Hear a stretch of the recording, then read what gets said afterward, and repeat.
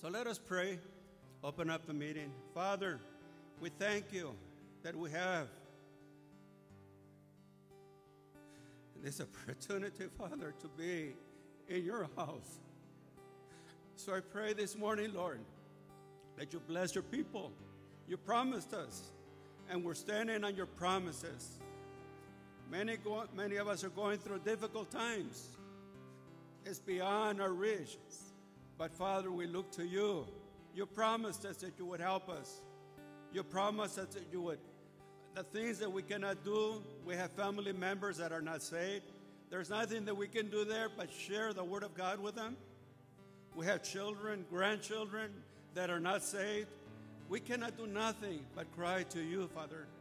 And you will do that, Lord. Even this morning, Lord, we remember young Mark Gonzalez. We pray for mercy upon him, Lord. He has the Word of God. You said that those that hear the Word of God from our youth will never, ne- that Word will never return back void. You will accomplish it in his life to revive him, to heal him, to strengthen him, to bring him back to the family of God. Our brother Mark, touch him and heal him. The Lord rebuke this affliction and his body, Lord. And anyone else that's going through trials, afflictions in life, those that are watching online, present, Lord, there's many that are hurting. Father, you're the God of comfort.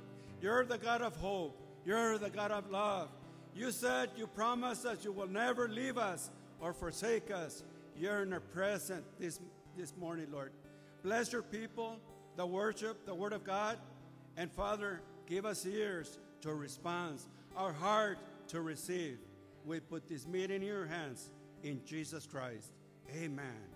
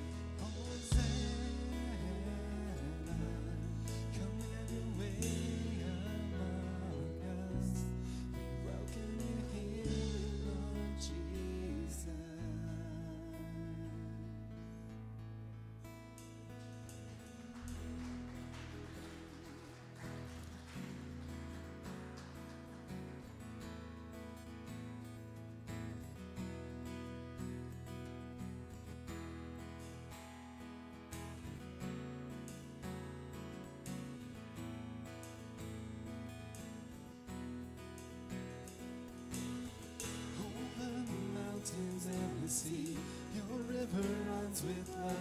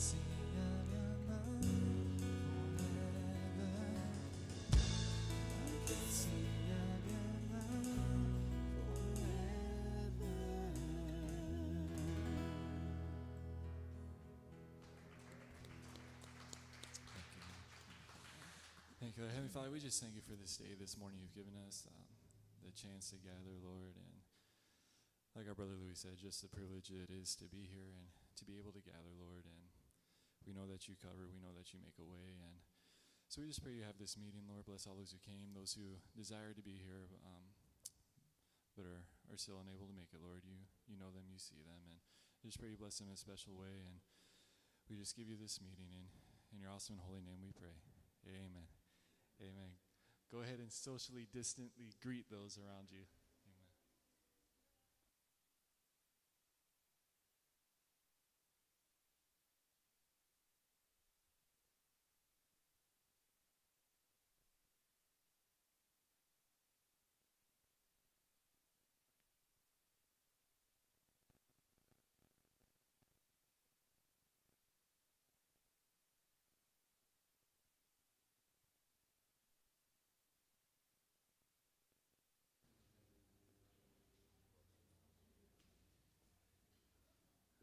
Praise the Lord. Good morning, God's people.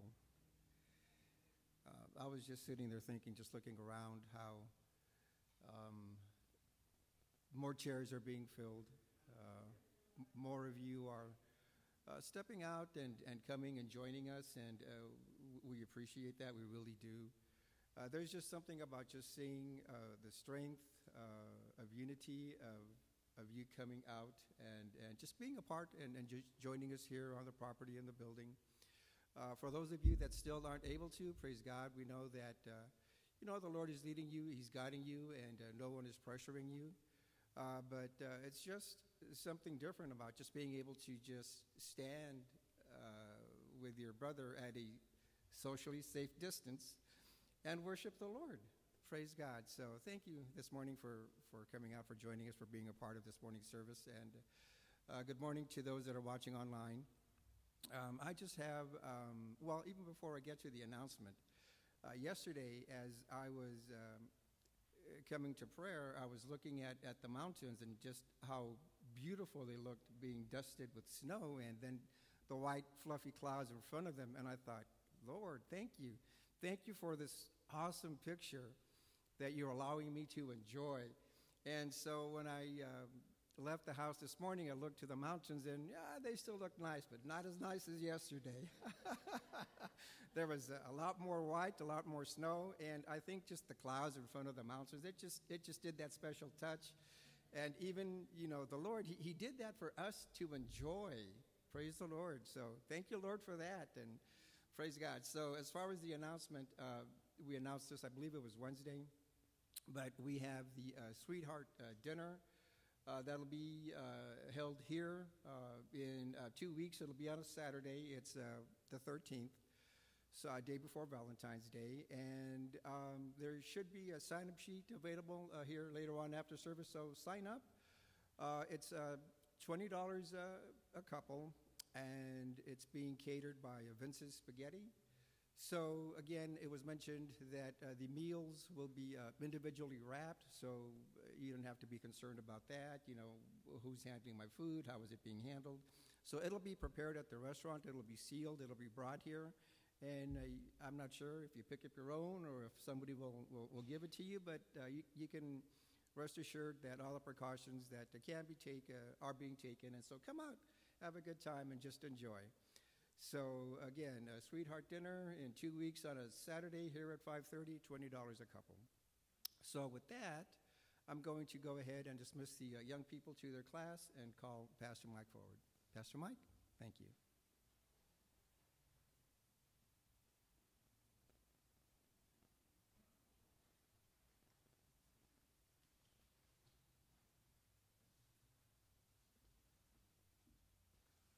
Praise God. The Lord is good. Amen.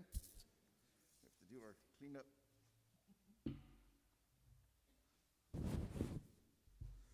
I noticed I was wearing my brother Marco jacket today. I said, hey, that guy has a nice jacket. You can make three of those out of this one, though.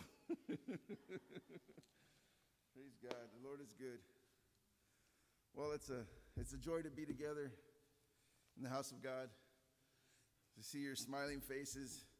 I just feel uh, just so excited this morning on on the word that God's placed in my heart because even as we share the word, um, God cuts our heart first as we stand behind the pulpit, and He ministers to us and strengthens us through His word in order for us to be able to share that and, and give it with others. If not, we're just we're just like tape recorders, and, and that's not what God has us for. And so I'm so blessed just to to be here this morning with a word that I feel God truly has, has given us. Um, the word that I, uh, that, the title that I gave it is What do you want in this life? What do you want in this life? Um, today, we're not going to solve the problems of the world from the pulpit today.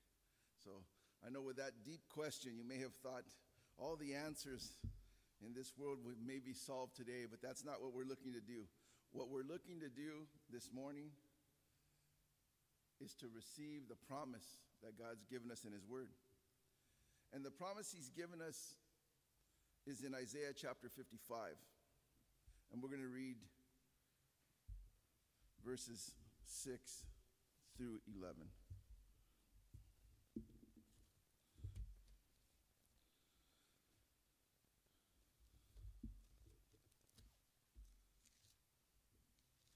Thank you, Lord.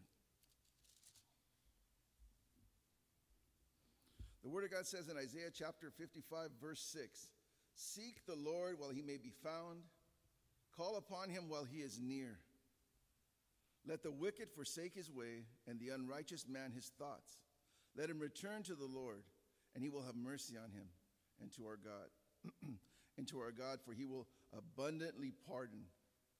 For my thoughts are not your thoughts, nor my ways, nor my ways, says the Lord. Verse 9 For as the heavens are higher than the earth, so are my ways higher than your ways, and my thoughts than your thoughts. For as the rain comes down and the snow from heaven, and does not return there, but water the earth, and it brings forth and bud, that it may give seed to the sower and bread to the eater. Verse 11, the key verse.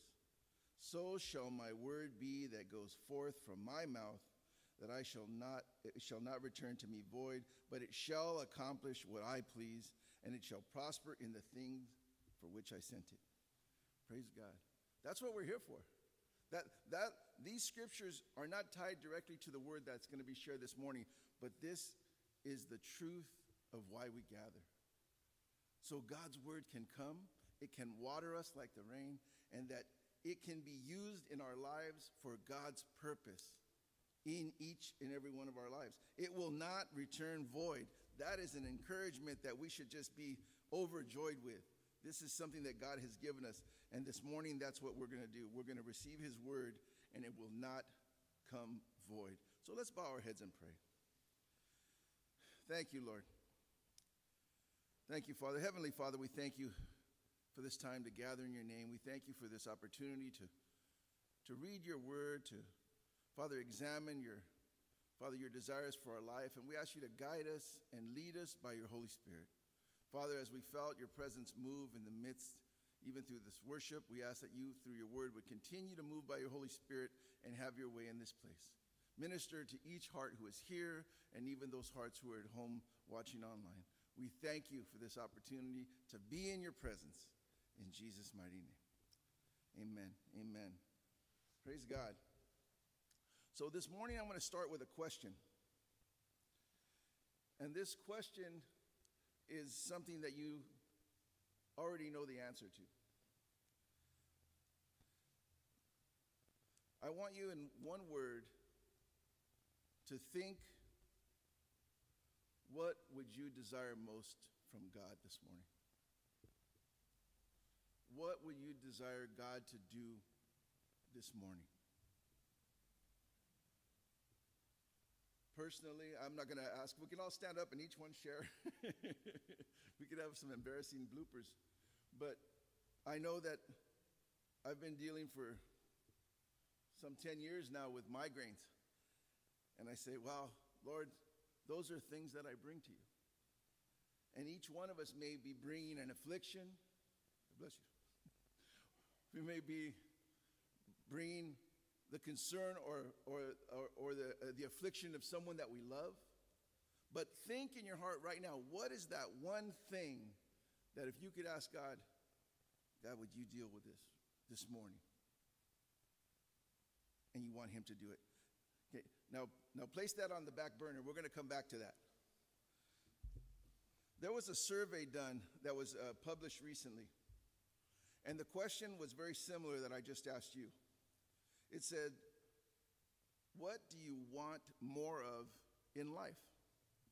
And I've got the top five listed here. And this wasn't a, a, a a Christian survey by any means, it was just asking people uh, what they desired more of in their life. And you, on your own, can think of these things. Number five was joy. Number four, peace. Number three, freedom. Number two, money. Now we're starting to get closer to it, huh? And number one, happiness. People just want to live their lives and be happy.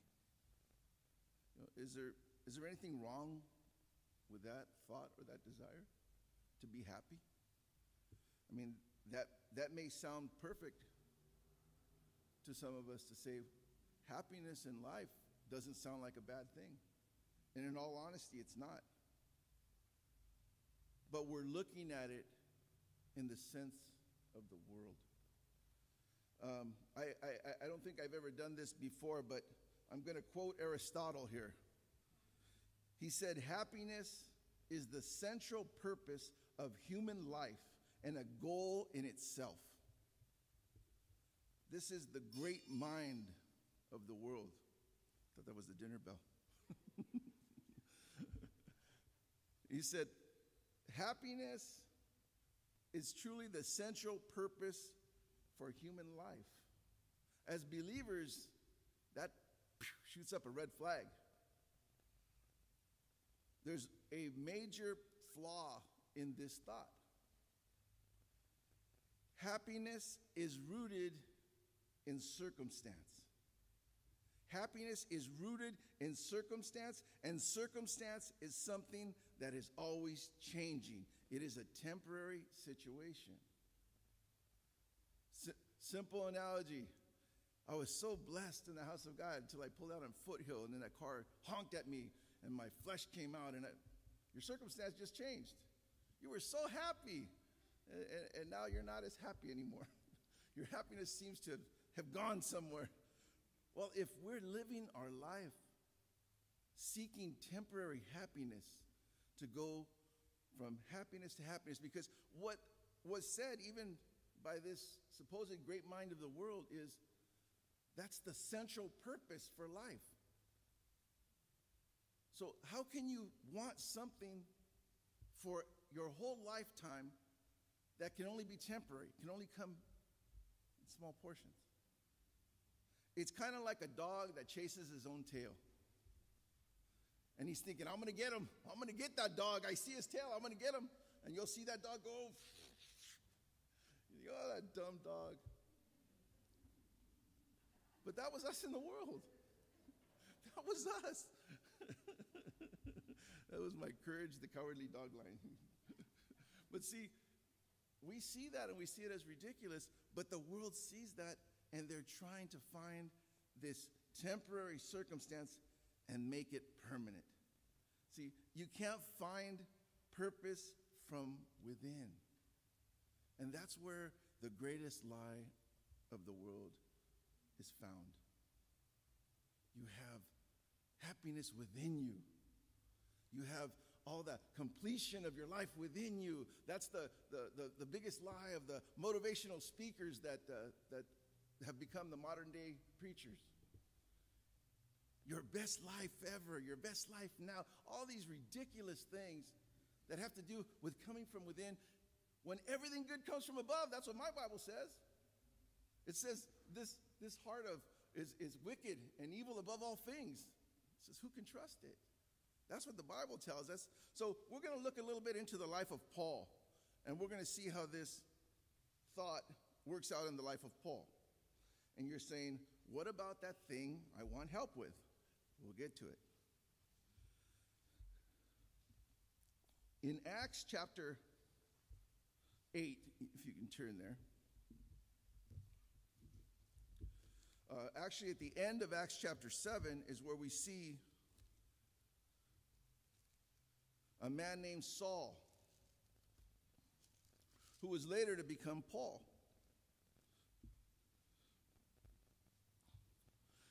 And, this man, Saul, was a, a member of the Sanhedrin.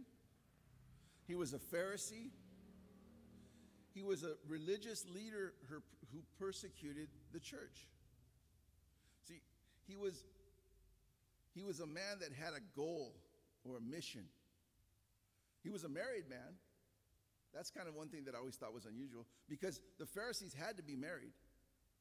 But yet, throughout the Bible, you never hear a mention of a wife. Paul and his wife went to minister. I don't know what happened to her. The Bible doesn't say so. We can't guess. She said, You're going to. You're going to follow that Jesus guy. I'm out of here. We, we don't know what she said. We don't know what happened. But I just thought it unusual that he was in this position that the world would say he had everything. He had his family, he had his power, he had his authority. And, and, and, and in, in Acts chapter 8, verse 3, it says, As for Saul, he made havoc of the church, entering every house and dragging off men and women, committing them to prison.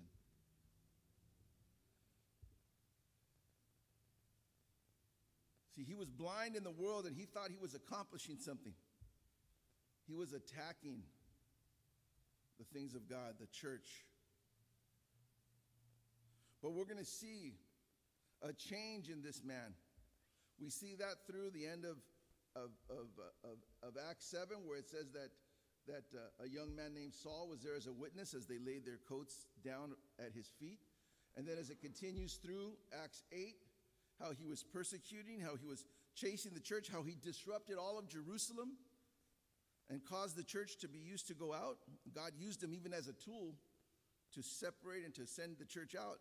But in verse 9, and excuse me, in chapter 9 is where we see Paul's personal call by God.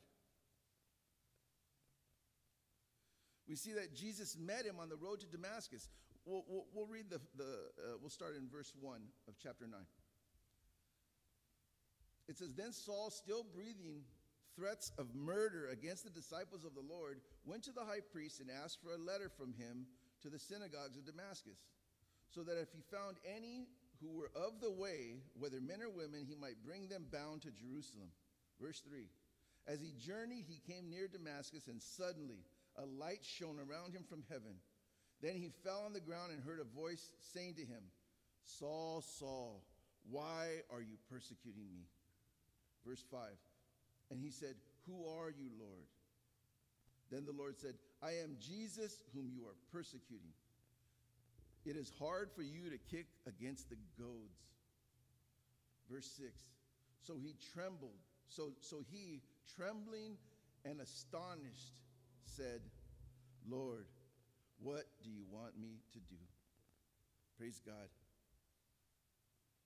There was a change. There was a Damascus, a road to Damascus moment. Are you a believer here this morning? If you're a believer here this morning, you have had your own personal road to Damascus moment where Jesus became real to you. See, with Saul, he really had to be shaken. Jesus appeared to him. But what was his response? He was broken. He was changed. In an instant, he was changed.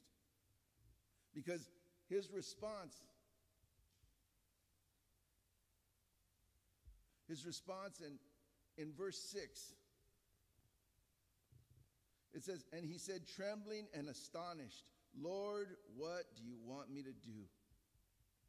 Then the Lord said to him, Arise and go into the city, and you will be told what you must do. That was us. That was us. Lost in the midst of this world, without a plan or an understanding of who God was. See, he had a religious understanding. He thought he knew God, but he knew of God. He didn't know God. He was religiously following what he thought he was supposed to be doing, but he stood before God on that road to Damascus, and that was Jesus Christ. And his life was changed. And from that moment forward, he said, Lord, what do you want me to do? That's what he's called us to do. Lord, what do you want us to do? How do we go forward? Let's fast forward. Let's fast forward to Second Corinthians. And we'll start, we'll go to chapter 12. Paul has been through many things by this time.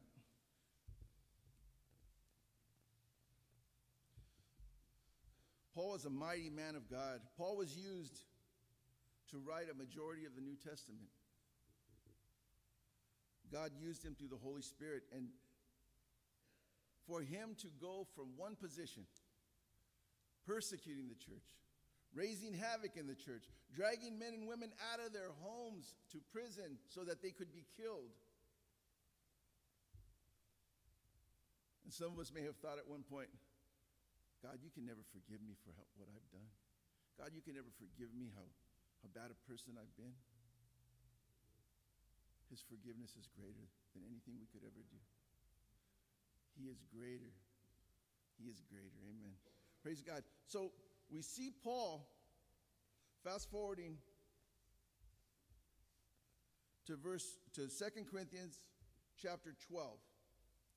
And as far as that moment on the road to Damascus, if you don't know Jesus as your Lord and Savior today, whether you're here or whether you're at home, today, this morning, might be your road to Damascus.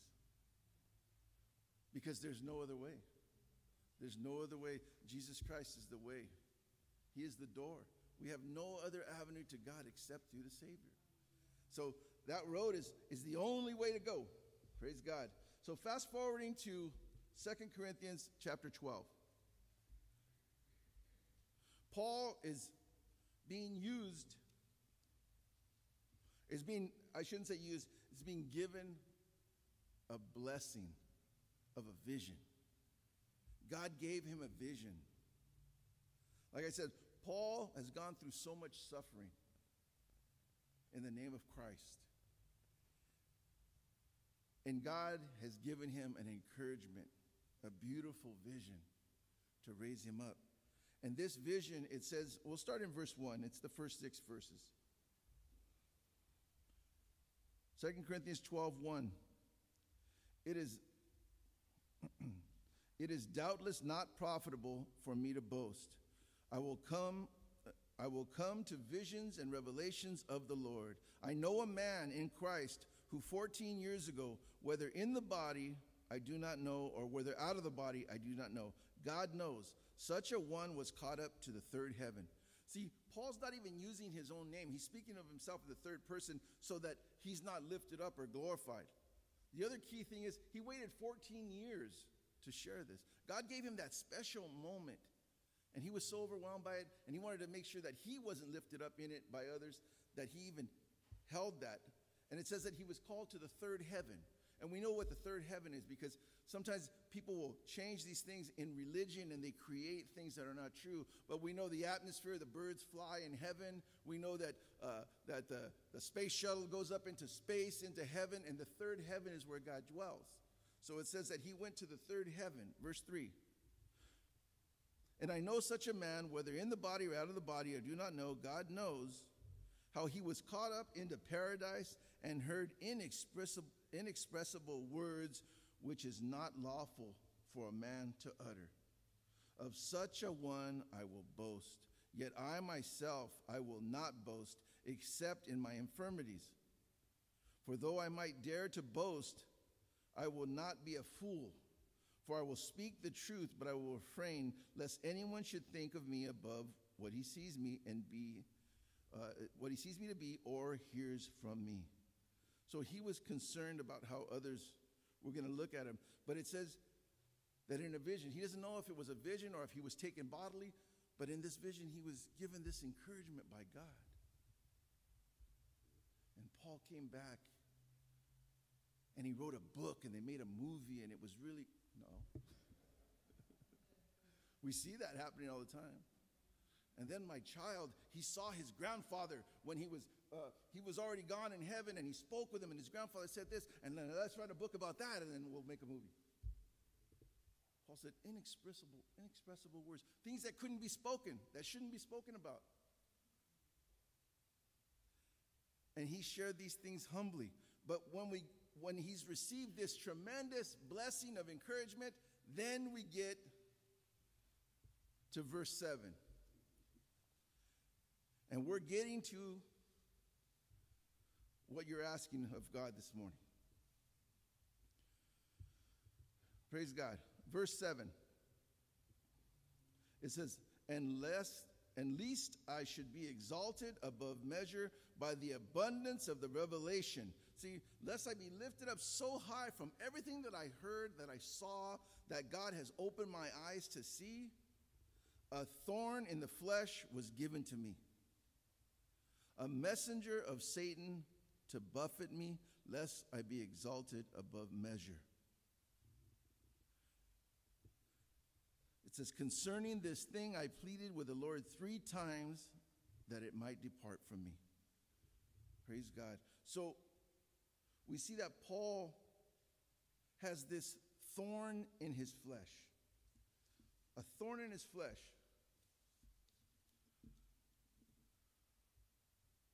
Paul comes to God with affliction.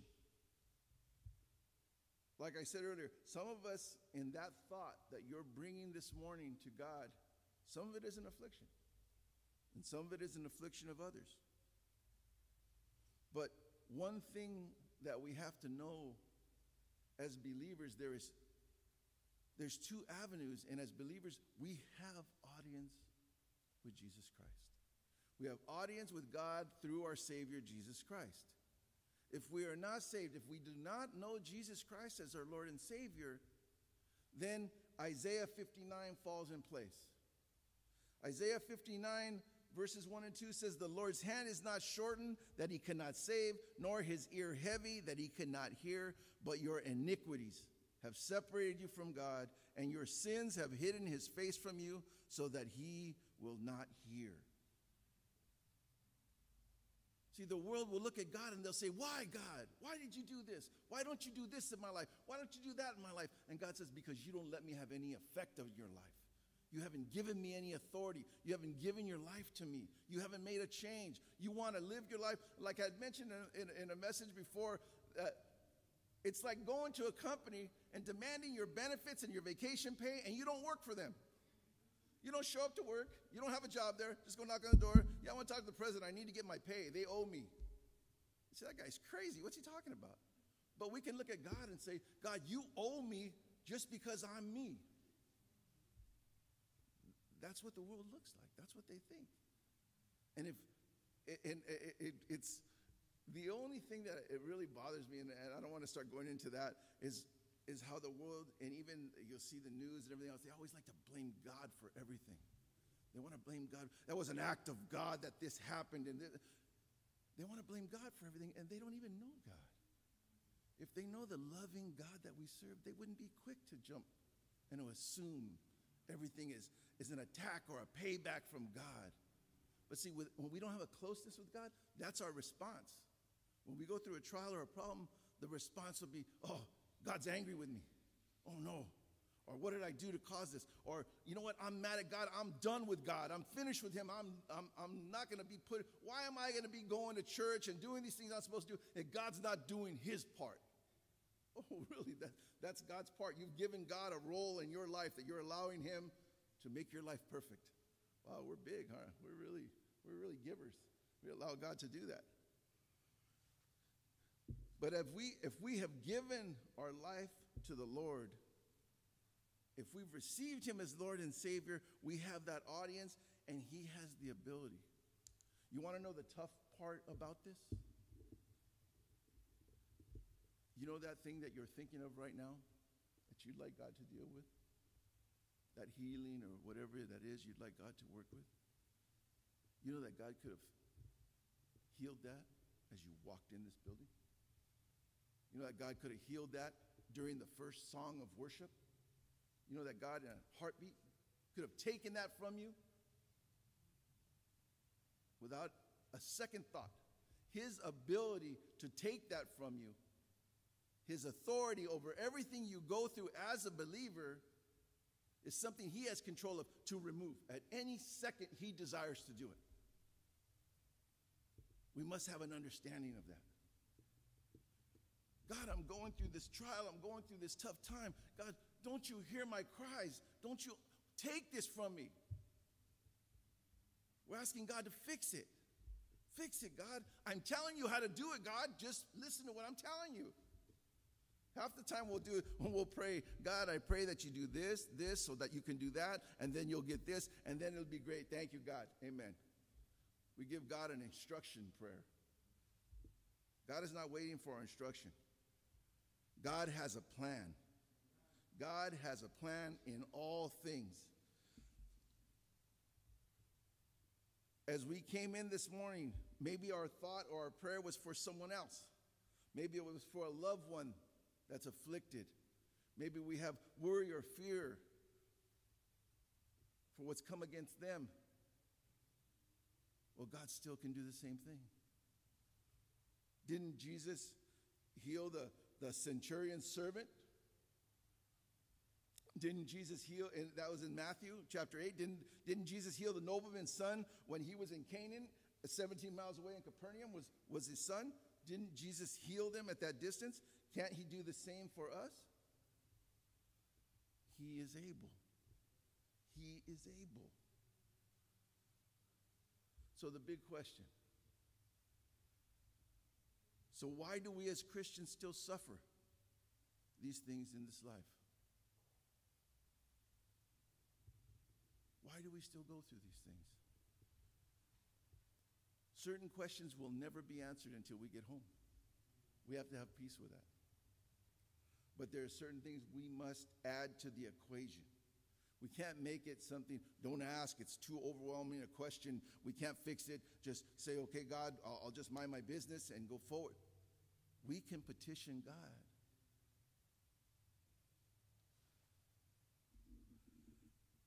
There is one thing that we must remember, and this is for the believer and the non believer. We are living in a world that is cursed because of sin. We're living in a world that's cursed because of sin.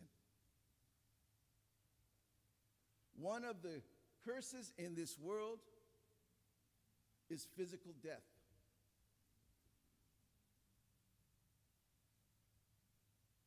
That will change. It, it, it's, it's a pain that if you have not gone through, you will. Because every one of us in these tents are temporary. No matter we serve God or if we don't, we each are limited in this tent, in this life. And whether those round about us, they face the same limits. So we have to understand that these are things that are coming in our lives. I don't want to think about those things. I don't want to hear it. I don't want to hear it. Does it make them go away? But the problem is when you have the enemy that is lying through the pulpit telling people you're supposed to prosper, you're supposed to have everything, you're supposed to never suffer because God loves you so much, He's going to give you everything. And then you say, Praise God, I want to serve the Lord. And then you suffer and you go, I'm doing it wrong. God doesn't love me. Forget it. I'm done with God. And the enemy uses that as the biggest tool to chase people out of the church. Because they've heard this prosperity teaching, they've heard this lie of the enemy that you're never supposed to suffer, you're never supposed to go through anything. And soon as that trial comes, they give up. These tents will age, We've all gone through loss. I, I, lost my mother when I was 12 years old. I didn't know how to deal with that any way, shape, or form. It took me through my 20s to be able to figure out how to process most of that. And then even losing my dad when he was 72 years old, I was already an old man that I am. That didn't make it easy. It was still hard. It still hurt. But we grow and we press in in our times of need. We allow God to to move in the midst of our situations. As far as suffering, sometimes we suffer because we're human, like I mentioned. We're human. These bodies are flesh. Um, I, in, the, in the immortal words of our brother Gene Martinez, he used to always tell me, Yeah, I had to tell my wife, I can't be a stud all my life. I had to get old sometime. he used to always say that, and then we'd say, Sure, you were. but these lives go through changes. You don't believe me? look in the mirror. Then go look through your photo album. like Brother Louis said, look at the world and like uh, be depressed and look up and, and, and be encouraged. You look at the photo album, you get depressed. Start looking in the mirror, buying creams and everything else. But these tents, these tents are just that tents. They're temporary. These are temporary dwellings that God has given us. So these are things that we're going to suffer. We're going to have trials. We're going to have pains. We're going to have these things that go on. Sometimes we suffer because we're foolish and disobedient to the Lord. See, in these two things, people will constantly blame God. God, my, my, my back is hurting, my knee is killing me. God, heal this, help me. Well, you've been working hard labor a majority of your life, you're going to start breaking down. That's just the way it is. God will strengthen you, He will help you. We can't say, God, why aren't you healing me, God? Why are you going to stay 16 your whole life? Is your body going to feel 21 years old? It's not going to happen. I hate to burst anyone's bubble if someone's getting depressed here or at home. Everybody at home is getting their mirrors out right now and looking. but see, these are things that we're going to suffer.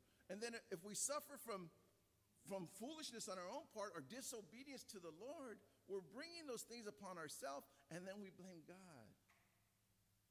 God, I smoked all my life and, and, and I'm praying that you get rid of this lung cancer. Why didn't you, why did you allow this to happen to me? Well, maybe it was what you did to get to that point. Well, my liver is, is shot. And I, well, if you drank all your life, these things happen.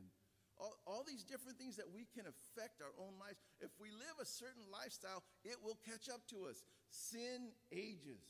Sin ages. We all age, but have you see someone that's caught in sin?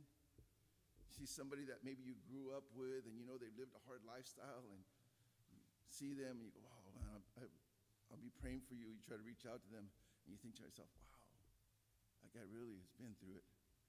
He really looks like he's been through it. Then you start feeling better about yourself. No, I'm not going to say that. but there's also times where we suffer because God is using it to build our godly character. God is using it as a tool to build us up, to strengthen us. You know, the, the, in, in verse 7, in 2 Corinthians chapter 7, verse 7, it says that a thorn in the flesh was given to me. Paul said this a thorn in the flesh was given to me. You know what that thorn really was?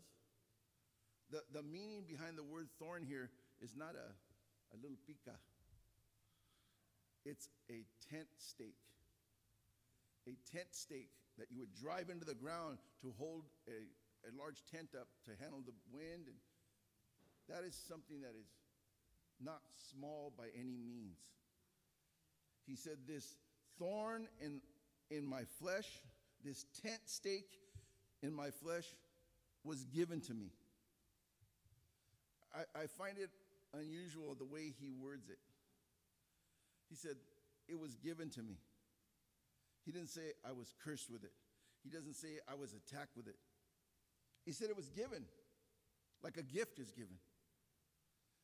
He said, This was given to me. And then it says, A messenger of Satan to buffet me. And there's a couple of things that we receive from this. First, buffet. You know what the word buffet means? Buffet is to beat or to strike with a fist. So next time you're watching a fight, you can, well, that guy really buffeted that other guy, huh? That's what that means. Paul was getting hit. He was being beaten by the enemy. with this tent stake. This is what he was suffering. This is why he was crying out. But it says he was buffeted by the enemy. It says that Satan, a messenger of Satan, and you know what that means? It doesn't mean that the enemy is strong and was coming against this man of God. It means God has authority even over the enemy because he allowed that to come to pass in Paul's life. Everything that comes against the believer has to pass through the hand of God. It has to be allowed by God. Everything that goes on in our life as we serve God. Not the things we do for ourselves, not the problems we cause on our own, not our physical things that we've done. As we serve God, things we have no control over that come against us have to come through God's permission. God allows it. God has authority over the enemy. We can be so fearful of the enemy. Oh, the enemy is going to attack me. I don't want to get too close. That's when the enemy really comes against me because he sees I'm trying to do the things of God. So he's really going to come. You're, you're worried about the little guy. God is in control of all things. He has his hand on that enemy. He controls what goes on. And it says that, that this, this enemy, that, that, that Satan was buffering, was beaten, was hitting him with this, with this tent stake. And the, and, the, and the part that really stands out to me the most is the way it was used. The tense it was used. Tense, T E N S E, like past tense, present tense. The tense that it's used is meaning either constant or reoccurring. Constant or reoccurring. He didn't say, This one time I got picad with a stake. This was a constant affliction. If there was any relief in the midst of this affliction, uh, affliction, it was coming back again and again and again. Do we have anything like that that goes on in our lives? Is there things that come against us where we say, God, why don't you just take this? God, I'm trying to do my best to serve you. Paul was serving him with his whole life. Why don't you take this, God? It keeps coming back. Now let's think about this for a second. In the midst of this, what did Paul still have to do? Paul still had to write epistles. Paul still had to take trips. He still had to give sermons. He still had to, to preach. He still had to be used. All in the midst of his suffering. He didn't just say, Oh, I'm taking a sick day. Sorry, Lord. When you fix this, then, then I'll finish serving you. When you pull this Many people think it was the eyes because it talks about in other portions of the Bible where Paul had problem with his vision, that, uh, that he needed help even in writing a majority of the time. And I believe that's that a portion to be so. But remember, Paul was cast out of a city, beaten, and left for dead. It says the disciples came up and looked at him. it says they gathered around him, thinking he was dead. And he sat up, whoop, dusted himself off, said, Let's go back in the city where they just beat me and preach the gospel. He showed them by example in his life, but he went through a lot. I think this could have been an accumulation of things. Oh, when they beat him, would they only poke him in the eye? they beat him severely to the point they thought he was dead. This wasn't just a one time occurrence. So, as Paul had gone through so much, I believe this thorn in his flesh, this tent stake, I think it was an accumulation, including the eyes, but it could have been so much more. But he continued. He continued. That's the key. He did not give up, but he came to God. It says three times, verse 8. Concerning this thing, I pleaded with the Lord three times that I might depart from me. Three times. The same thing Jesus did in the Garden of Gethsemane. It says he came to God three times. He said, But not my will. He said, Three times, if this cup can be taken from me, God, take this cup. but not my will, but thy will be done.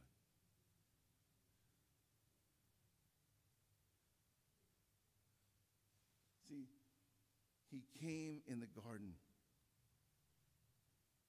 seeking God, knowing that this was the reason he came. Paul came to God in this suffering, knowing he's saying, I know I'm going through this because of all the understanding that God has given me, the vision he gave me, the revelation that God has given me to keep me humble. Uh, just on my own assumption. So step away from the Bible. We know Pharisees were proud men. Pharisees were religious leaders. Pharisees had to, to memorize the first five books of the Bible. They were looked upon as lifted up. Paul has a pedigree of all the things he did coming up as a Pharisee that overshadowed anyone else. If anyone was going to be full of himself, Paul was definitely the guy that could have been full of himself. But God took that on the road to Damascus. That was removed from him. Has that been removed from you and, and me? Sometimes we can feel that way. God, I've changed. And, and then when we meet that high school friend I was telling you about, and you see him, and you see him in the midst of those things, and you go, man, it's too bad. I'm glad that, you know, I've changed. That was you. Your heart of compassion should just be overflowing for that person. We don't look down on them saying, Yeah, that's why you need Jesus. See ya. We minister to them. We say, I was standing in those steps, I was standing in your shoes. And by the grace of God, He's lifted me up and He receives all the glory for anything good in my life. Nothing that I do, only the things that He's done in my life.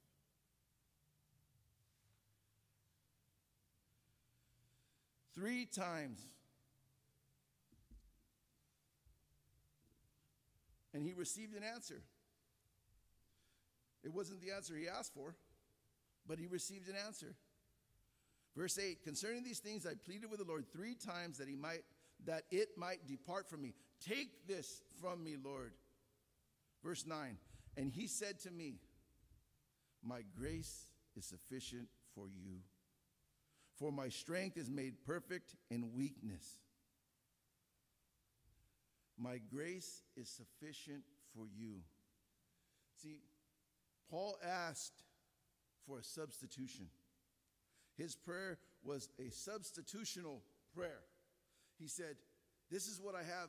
Take it from me. Give me something good. Give me good health. Help me in this situation. Instead, he received a transformational prayer. He was transformed. He was able to look at his circumstance to say, Your grace will cover what I'm going through. Your grace will cover and strengthen and guide me. This will be used as a tool to draw me closer to you. When are you closest to God? When do you run to the foot of the cross? When you're in the midst of a trial. When things are going good, when life is great, you may be praising God and, and driving down the road hearing worship music and, and, and, and excited, which is good. We have to have those times. But when we're hurting or someone we love is hurting, we are pressing into God. God, help me, Lord. Help my situation. Deal with what's going on. Be with my loved one. Take this pain from me, Lord. Don't you know what I'm going through? But as believers must understand His grace is sufficient for us. Does that mean He'll never heal us? No. He may heal you this morning of that situation that you are bringing, or He may not. It may not be a substitutional, it may be a transformation. You'll be able to look at that affliction, that circumstance, and see it in grace and see it as a tool or a weapon against the enemy to make you strong.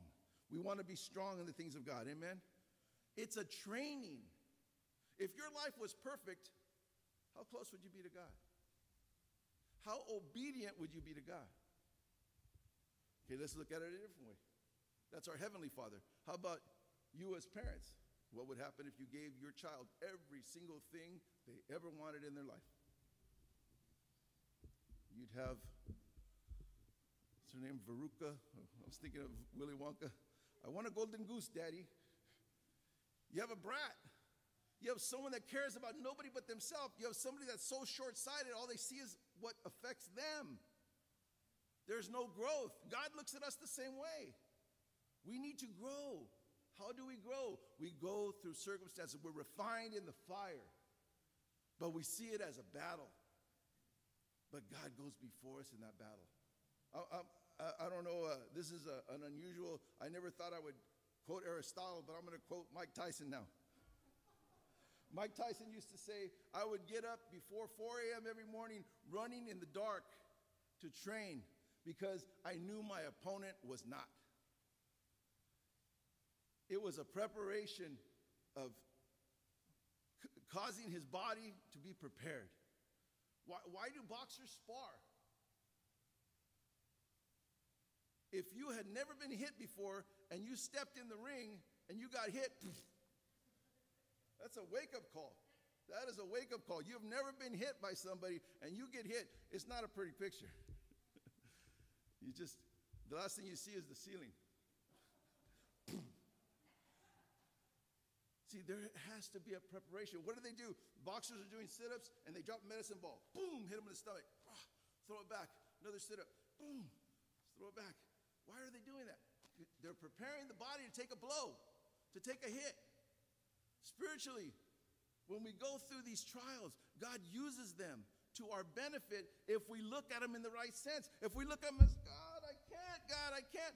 How is He going to strengthen and encourage us and lift us up unless we see it in His grace and we keep on going? We keep being used by God, like Paul. Paul had so many things he still had to do before the Lord was going to take him, before he was going to be martyred and killed for the gospel and he was going forward. But he changed in this moment because listen to what happens.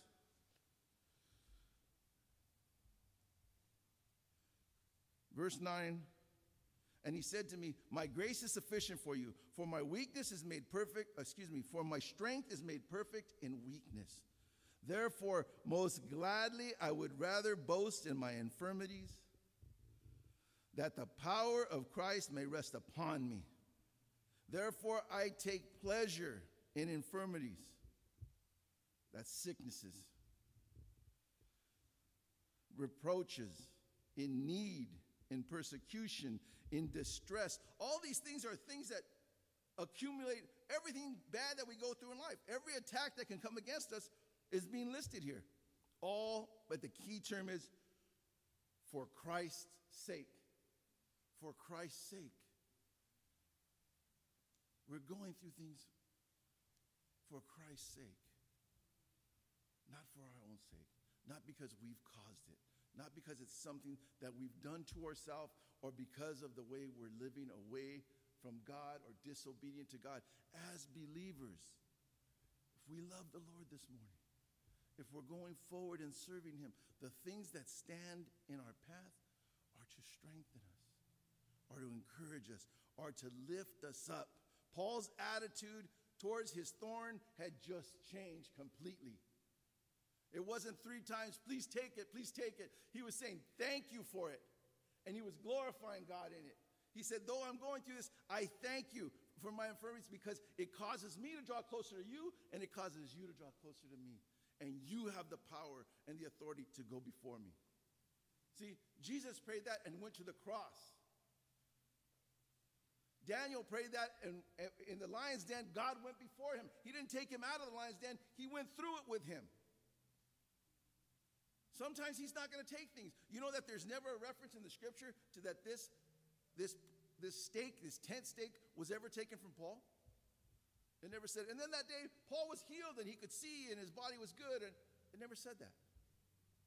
We don't know if what we're going through is permanent or temporary. But either way, we give it to God. Imagine if it's something that God has given us to wake us up and He's waiting for us. Saying, Don't you get it? I'm trying to show you. I'm trying to teach you. You know, we've heard this, we've heard this, uh, this analogy used before about the eagle, about how the eagle with their young, how they, how they, how they treat their young, and how they, an eagle has got a nest high, high on a cliff for the safety of, of the eaglets. And he's got this, the, the, the nest is all taken care of nicely, so he's feeding, and the, the, the, the little eagles are getting stronger and stronger by the day. And we know that as they get stronger and they're getting more comfortable, they starts to remove some of the cushion from the nest, some of the some of the, the, the grass or whatever he's used to, to cushion that nest so that the little ones start to get uncomfortable and they start getting little picas where they can't rest as well. And then one day, what happens? The eagle says, Come on, it's time for you to learn how to fly. And what happens?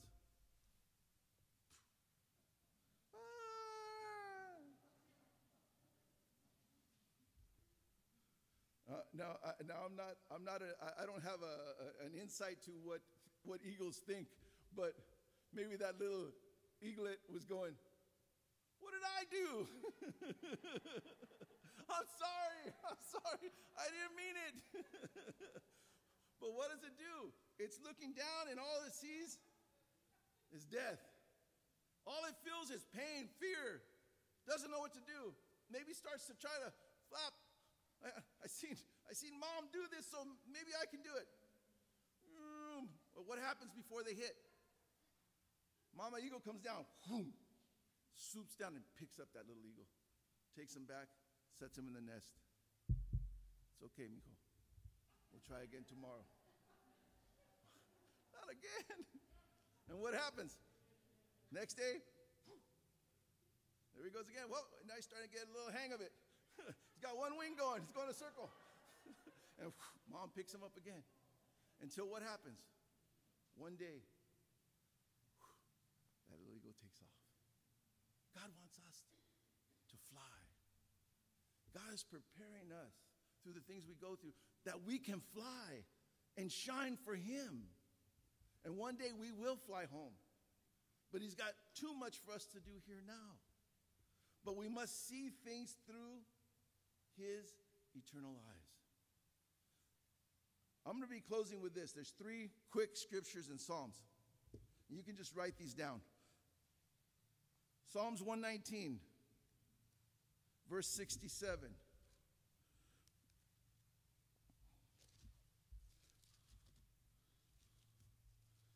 One nineteen,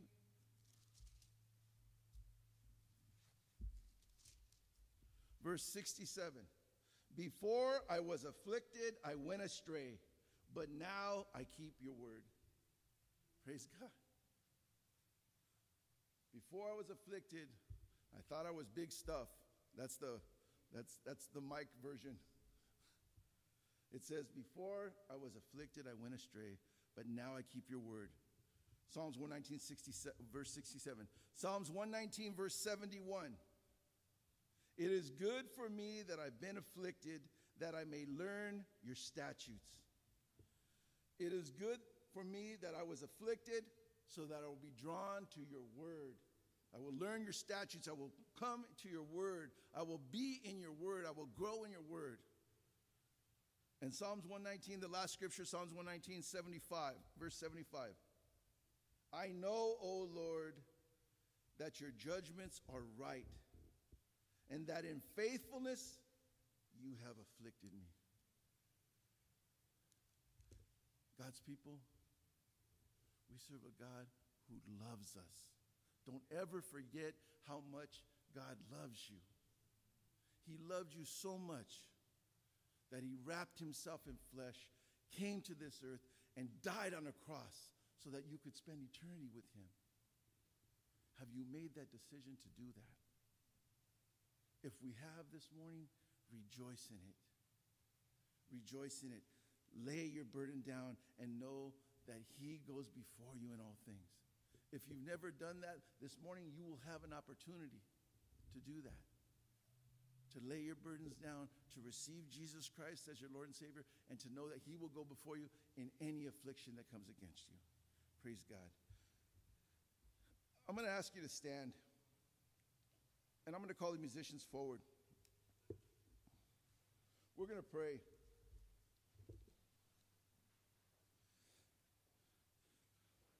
And this morning, as I asked the question, what did you bring that you desire God to move in the midst of? Now is the time to lay it down at the cross.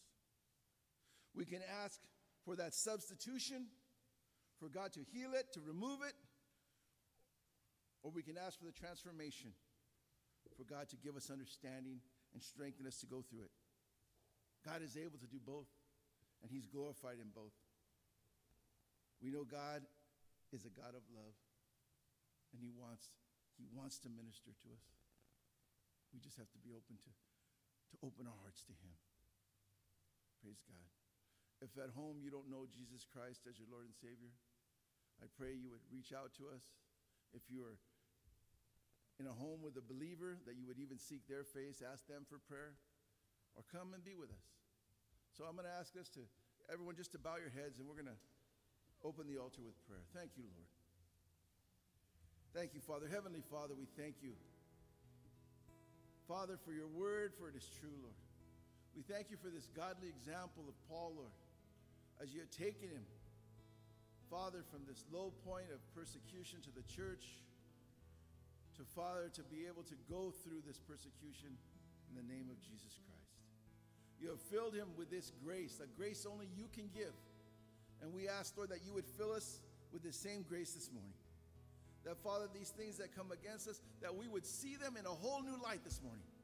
That, Father, you would give us an understanding that we are growing in you as we press through this, Lord.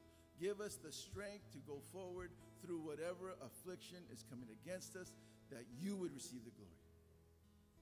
Train us up, Lord. Use us. We place these things in your hands. We give you all thanks, all honor, and all praise. In Jesus' name. Amen. Amen. Praise God. The altar is open. If there's anyone that desires prayer this morning, if there's something that you brought this morning that you want to leave at this altar, come. The leaders will pray with you. Again, if there's anyone here that's never received Jesus Christ as their Lord and Savior, this is your opportunity. Make that change. Praise God. The altar is open. I'm going to call the leaders forward at this time.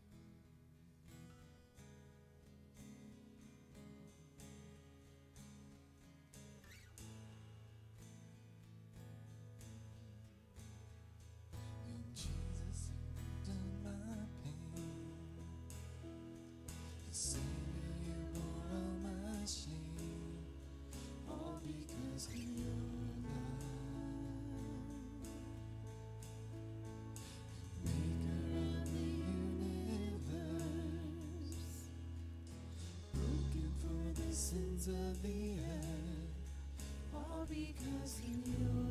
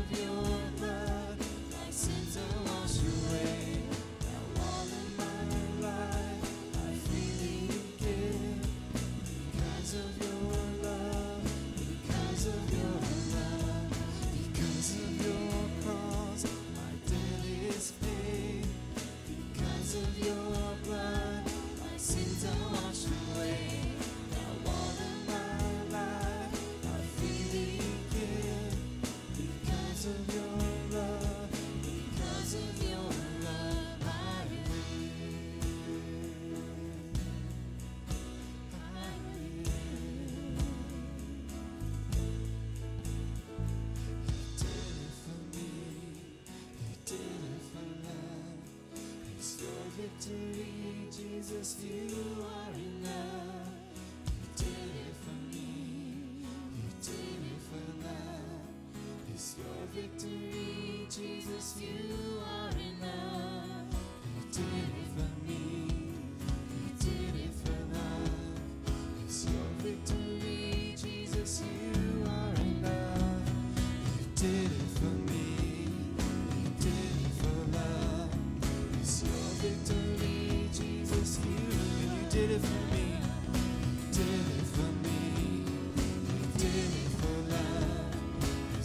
victory,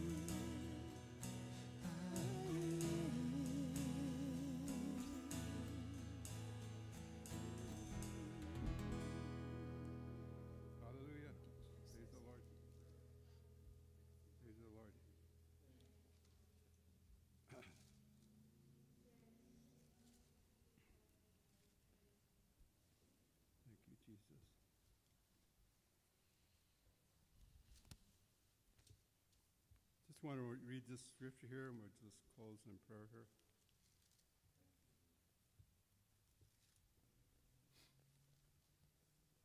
The Word of God says in the Old Testament, man always looks on the outside. Man always looks on the outside. But God says He looks at your heart. God looks at your heart. I believe the message today was God was speaking to our heart. Sometimes the message comes in such a way it speaks to the flesh. But the message today was speaking about the heart. Paul said this in the epistles. He says, Imitate Christ, imitate me as I imitate Christ. One of the things Jesus did when he had all these issues before him, great problems, he would get up in the morning. And what did he do? He went to pray before God. I don't even do that sometimes. God's asking us not to do the big things, but can you do the little things? Really, that's what God's asking. A lot of times we, we, we, we go through many things. I'll just read this, a few, a few things here, and uh, what Paul says. He says, But what things we gain, but what things were gained to me, these I have counted loss for Christ. Yet indeed also I count all things lost for the excellence of the knowledge of Christ Jesus my Lord, for whom I have suffered the loss of all things, counted them as rubbish, that I may gain Christ and be found in him, not having my own righteousness, which is from the law, but that which is through faith in Christ, the righteousness which is from God by faith. Hallelujah. It's good. It's good that we hear the word of God. It says here, that I may know him. It's good that we know Christ, that we know Jesus, and the power of his resurrection. Yes, it is good to know this. But it says here something else, and the fellowship of his suffering. Are you willing to suffer for Christ? Really? Are you really willing to suffer for Christ? You ask this one thing how are we living today? Are you suffering for Christ? Are you doing the simple things in life? Are we doing those things? If you're not, ask yourself. Better yet, ask Jesus, and he will give you the answers. Father, we come to you in Jesus' name. We thank you for your faithfulness to your people, Lord. Lord, we are unfaithful. We are unfaithful to you, but you are still faithful to us. We're undeserving, but you came and you laid down your life for us. Lord, we want to follow you. We want to be like you. But Lord, we are so weak. We cannot even do the simple thing. Give us courage, Father. Encourage our heart that we can stand in that day, that day of testing, that day when we make the decisions. Give us strength. Give us wisdom. Give us discernment, Lord. Remember your people, Jesus. Remember your children. Remember your promises. We ask this in Jesus' name. Amen.